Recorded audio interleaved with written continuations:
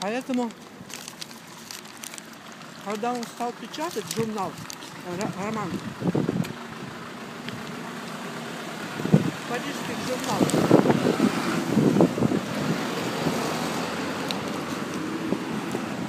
главы о Чернышевском от- отказались печатать.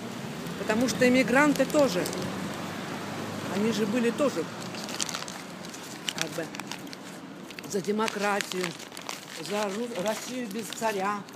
А вдруг такую пишет он посмешище над Чернышевском. Они отказывались печатать эти главы. Сначала он печатал просто любовную историю Годунова, Чердынцева.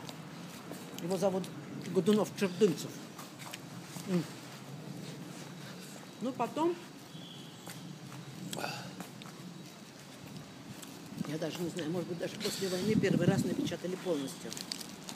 Когда уже вот эти старые демократы, соц- соц- со- социал-демократы, которые эмигрировали после революции, они возглавляли журналы. Они тоже были за революцию и так далее. Но у Чер- просто Чернышевский, он показал, что это был очень схематичный человек.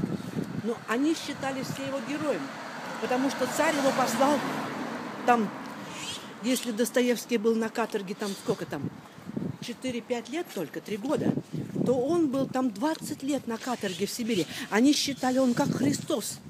Он пострадал за демократию, за революцию. Поэтому его, его роман «Что делать?» А что делать, это как перестроить Россию. Вот как Герцен хотел, тоже Герцен. Сделать Россию демократичной. Без этого. Без крепостного права, без, произ- без произвола царя. Поэтому они, хотя понимали, что это правда, он плохой писатель и так далее. Но идея у него хорошая. А Набоков сказал, и идеи плохие. Россию нельзя так и менять. Ну что потом подтвердилась революция. Поменяли. Еще худшую страну сделали.